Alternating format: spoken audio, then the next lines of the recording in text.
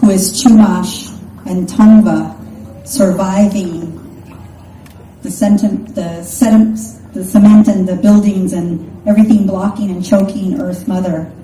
So we're here to celebrate that we're here and connected to make sure that we carry a good message of being better relatives. Without that, any further ado, any delay, Tina Calderon.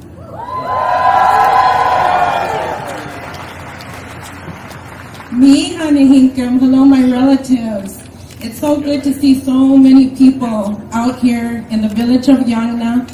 I'd like to first start by acknowledging the ancestors of the area. The people of this area, as she said, they're Tongva, but that's a relatively new term. I want to be very clear on that because our villages went from San Fernando Valley all the way to Huntington Beach and all the way over to uh, Riverside and Corona area. We were a huge nation and we were comprised of many small villages. Yangna was a very large village where people would come to trade. And so the people who were from this area originally would actually introduce themselves by their village name, which is Yangna. So they would be Yangavit or Yanagatam, the people of Yangna. My village, my ancestral village is Komikrangna, which is in the Santa Monica Mountains. It's shared territory of the Chumash and the Tongva. Today they call us Tongva because of the history of us going through the mission period. They started calling us Gabrielinos. Gabrielino is not a tribe. So in unity, the people said, well, we need to have one name and Tongva comes from Tovangad, which means world to us. So Tongva, Tovangad, that's our world. So that's where that comes from. But more importantly is you all, what you're here for. Our people were caretakers for thousands of years, and we lived upon our Earth Mother in unity, in reciprocity, never ever taking more than we needed. And I don't know what has happened in such a short time, less than 300 years. Everything has flipped. It's all about greed. It's all about taking. And so to see all these youth standing up and saying, no more, that's it.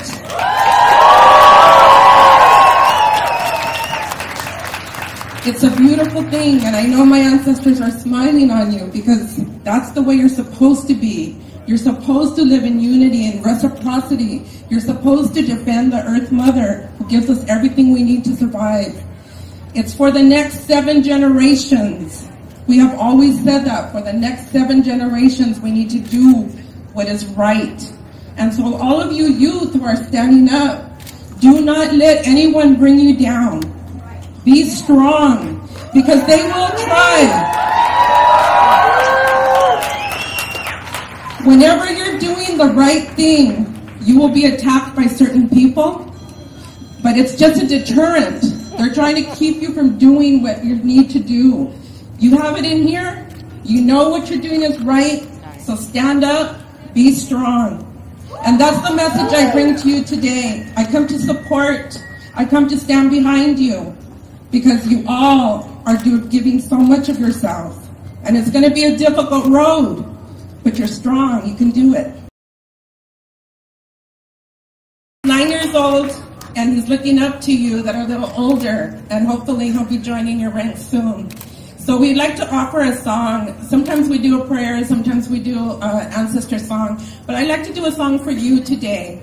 And it talks about how the people need to rise up, stand strong, know that we are beautiful beings created by the Creator and we are going to do what's right in future.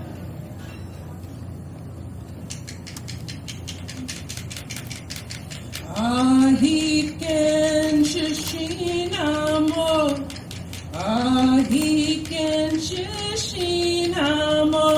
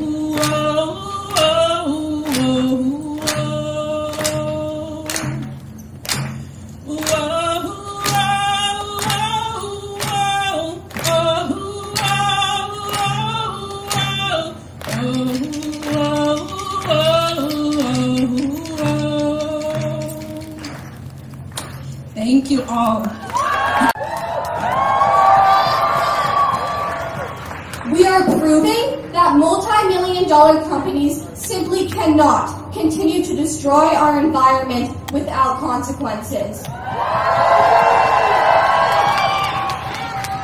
And we are proving that our youth will hold the leaders accountable. We do not take our futures lightly. In a few short years, we are going to be a huge voting bloc, and that is a threat.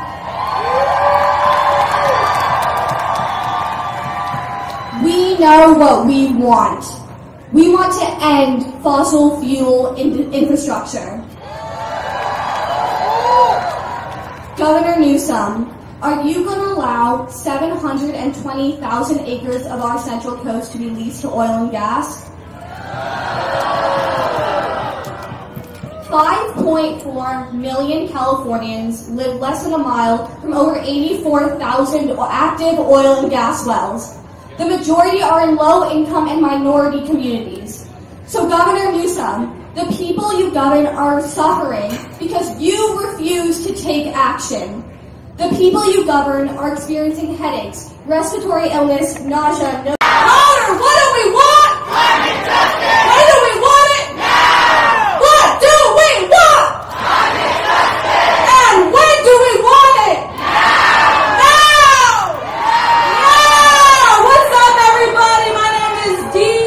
I want to start off by giving a big thank you to the LA Youth Climate Strike team for putting this whole thing together. A couple of months ago, I was approached by the team, and they invited me to speak. And they invited me to speak at one of their earlier speeches. I mean, events. And I was really excited because uh, there were these youth, these middle and high schoolers who were so passionate about the work that we're doing. And it was such a successful event. We had hundreds of people turn out. And now as I look across, I see thousands. I'll share my experiences at my own discretion. My identities are not up for tokenization. So let's have a discussion. Let's talk about mitigation. Step out and smell fresh air. but don't breathe too deep. Be the change you want to see. Look around. Look at me. As I look around, I see young, the youth working like bees. Because we know that we got the right keys. So let me lay the facts as plainly as can be. As a country, we gotta go clean. It's time that we respect indigenous land. Who says that we have the governing hand? Honor the treaties, honor the sovereignty, halt resource extraction immediately. You know we all want a just transition, so go ahead and pass that legislation. We scream, Green New Deal! Y'all say that's just not how we feel. But we gotta talk about opportunity. Environmental justice is not just a buzzword. Environmental justice will make our voices heard.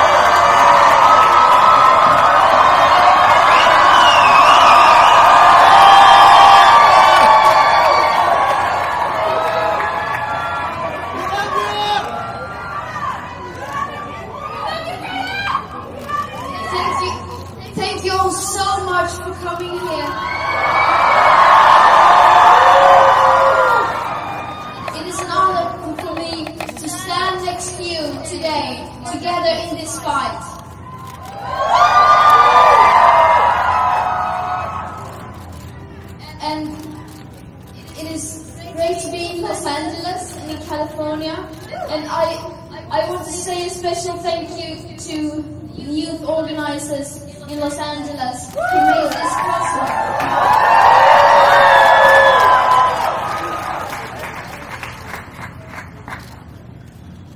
We recognize we are on indigenous land.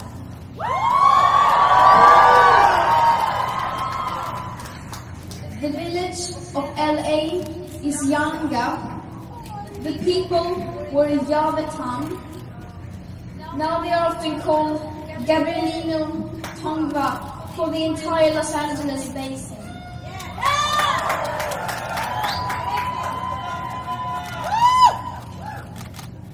Earlier this week, I visited Paradise in California and I met with survivors who showed me around the devastation. Street after street with no houses left. I heard heartbreaking stories. 18,000 buildings were destroyed and at least 86 people died. Today in California, we can see the wildfires happening just around the corner.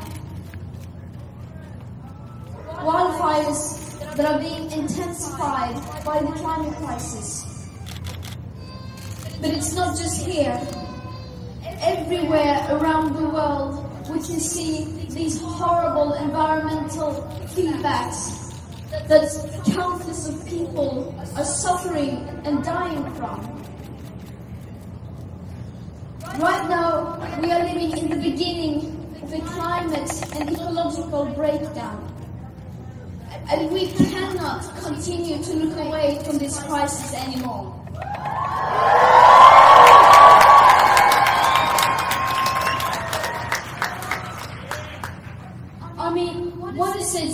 That seem to be hard, so hard to understand?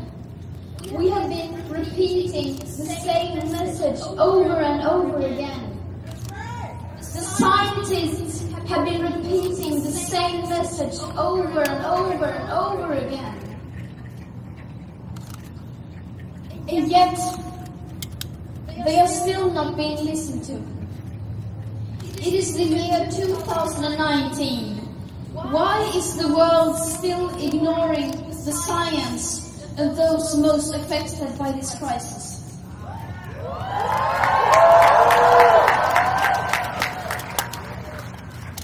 Why are the people in power still pretending that everything is fine and as if we could just continue to live like now as if there was no tomorrow? When there is a tomorrow. It is the tomorrow when we, young people, will live.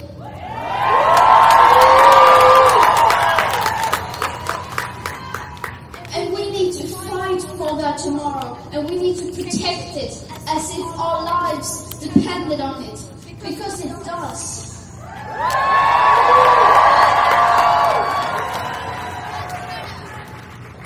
People are already suffering dying from the climate and ecological emergency. And it will continue to get worse. Doesn't this mean anything to the decision makers? We will, I will never understand how they can put short-term interests above human lives, above the planet itself, and our very future.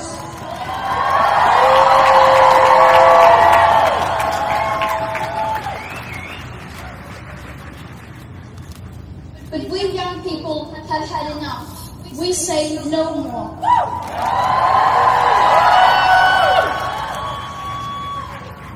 And if our parents won't speak up for us, then we will.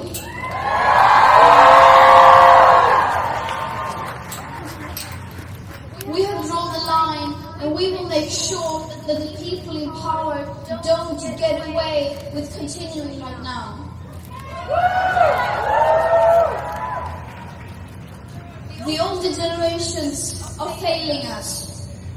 They are failing future generations. But future generations do not have a voice. And the biosphere doesn't have a voice. So we will be the voice that speaks up for them.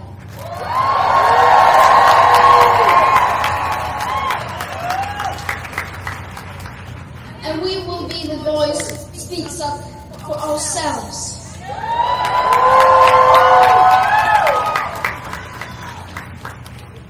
And that right now, that is what we are doing. We are speaking up. And that is what we will continue to do every Friday when we strike and every single day that goes by.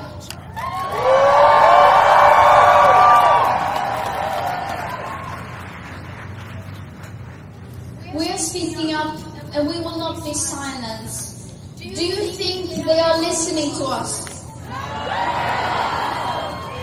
Well, we will make them listen.